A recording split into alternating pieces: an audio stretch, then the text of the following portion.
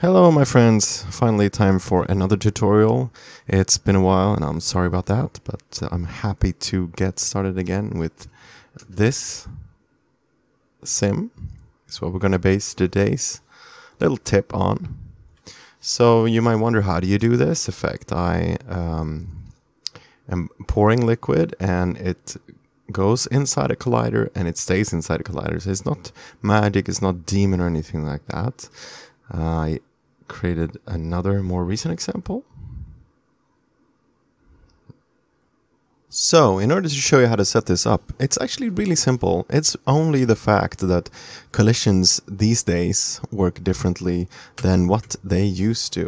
And what I mean by that, if you've been paying attention to my tutorials previously, you have heard me say that on the off occasion, you might want to go back to the standard particles. And why is that? Because the standard particles are not, you know, uh, GPU accelerated, they're not as efficient, and um, they uh, take a lot longer to sim. Sometimes, especially if you're doing uh, um, viscosity stuff, you can go up into the hundreds of substeps per frame.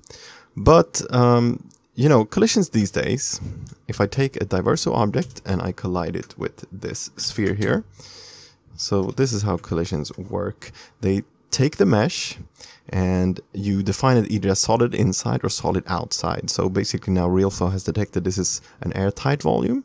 And so everything on the inside of this object is going to be considered a completely uh, solid collision object. There's no way of like having it halfway there kind of uh, so either you go solid on the inside or you go solid on the outside and solid on the outside means that particles can be emitted inside of the volume but there's no way they can escape that volume. The entire rest of the scene is being considered as you know a concrete block uh, so this is the only kind of space that particles are allowed to live in. And the third option would be a non-airtight object, such as uh, an object that is open, like the cube here, and it's detected and it's set to shell by default. So then, well, really terrible uh, voxel size here, but it proves the point still. Um, this is all just considered, um, you know, a, a, sheet of geometry. And obviously I would have needed to turn up the uh, the settings so it wasn't so chunky but you can see that it has walls and it collides with you know this is a, a band of voxels and it's going to collide with them. There's no other kind of flexibility to this. And what I mean by that is if we take a standard particle object shuffle it over here create another collider and you'll notice one thing specifically, and it's that uh, there's no domain. There is no domain when it comes to standard particles. The particle sequence cache that comes out of this simulation is only going to be relating to this circle emitter. So if I create an additional emitter, it will be an additional particle cache. There are ways of kind of combining those if you need to, but I mean, you can just use a mesh object and bring them into the same mesh or something. But you can use a binary loader uh, but that's really extracurricular, but that's something you would use to combine them into the same cache if that's easier for exporting or delivery or whatnot. But the real difference here is uh, that this way of looking at colliders is computationally uh, more efficient but it's uh, slightly less flexible. And the only thing I did in the K example with the white fluid going inside of the K and staying in there is only the fact of using one single uh, attribute, really. So if we look at this collider here, you'll see that it has Dyverso particles interaction. So it has distance, friction, bound, sticky roughness, and interaction factor. If we look at the sphere, on the other hand, number two, it has a lot more settings. So we can recognize these attributes and if we look up here, there's something called tolerance and collision normal and distance tolerance. A few different attributes that relate to the fact that they're actually looking at the very polygon and the point of impact from each every particle as it hits. And that's obviously a lot more computation to do, and that's why it's less effective. But it also allows us, for example, to pick a collision normal so this is really interesting. I can say, you know, you're going to collide with both the in and the outside. And that means that, you know, uh, if a particle uh, comes flying here, and let me actually delete this stuff now. And let's, for sake of an example, create another emitter and put it on the inside.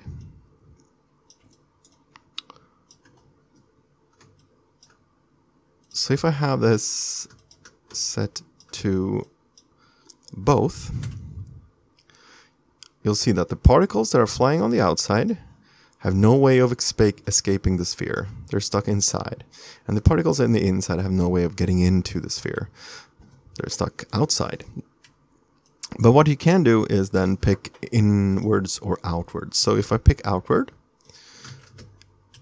any particle that hits the surface from the outside is going to collide, but particles inside of the sphere are allowed to escape.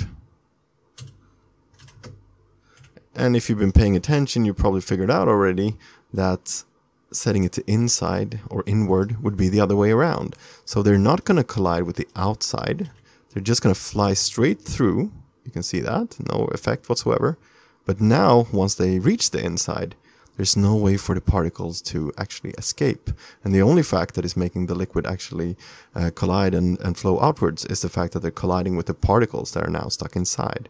So we can just make this a better example by scaling up the sphere somewhat and maybe going slightly higher on the resolution.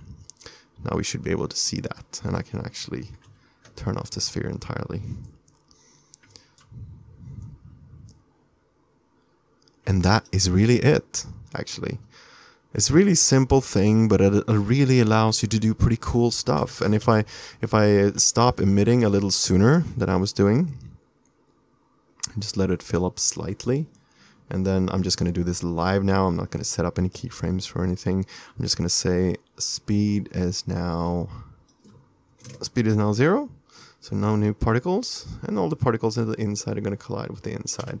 And I can also take the liberty of creating a gravity and keep simulating a few frames and it's all going to fall down and collide with the inside of the sphere. And that's all I was doing really and the letter K uh, letting them flow in and stay in and it would gradually fill up.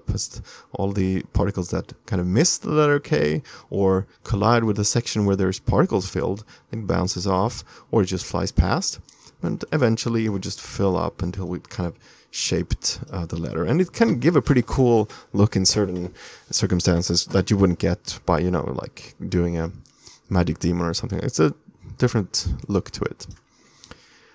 And in the other example, there's one additional attribute I want to introduce you to, and that is uh, collision tolerance.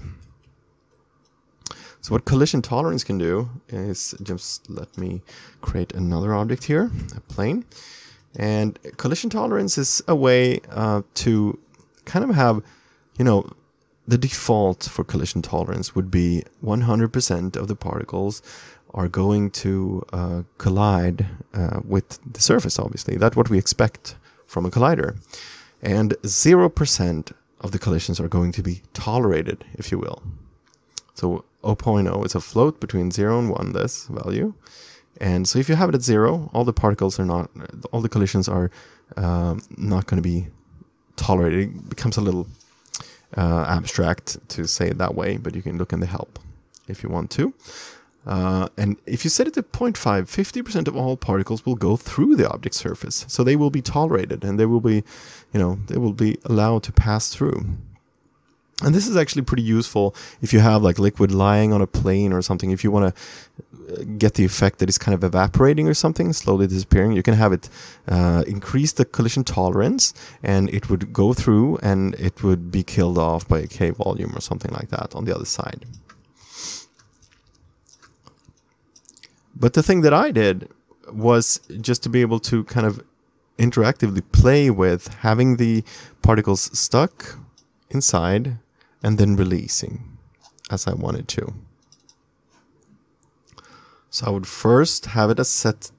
So I would first go back and forth with the emitter, and then I would turn off collision tolerance by keyframing it down to zero. I had it at one initially, and the collider object is set to inward here. and then I would keyframe it back down to zero, and then I would switch objects. So I had multiple collision objects, uh, and this was also uh, set to 100% or 1, set to collision tolerance, and then keyframed it down to collision tolerance to 0, and then all of the liquid that passed through uh, the outside would stay on the inside. And then I would keyframe it back off again, or back to uh, 0 collision, or I mean 100% collision tolerance with a value of 1. So let's just see this in effect collision tolerance set to well, sorry I'm on the wrong object here. I want them to collide with the plane but escape the sphere. So collision tolerance is currently zero. I'll set it to one and you can see that it's no longer colliding with the sphere at all. Even if I had it set to both it wouldn't collide with anything. And that's really all there is to that effect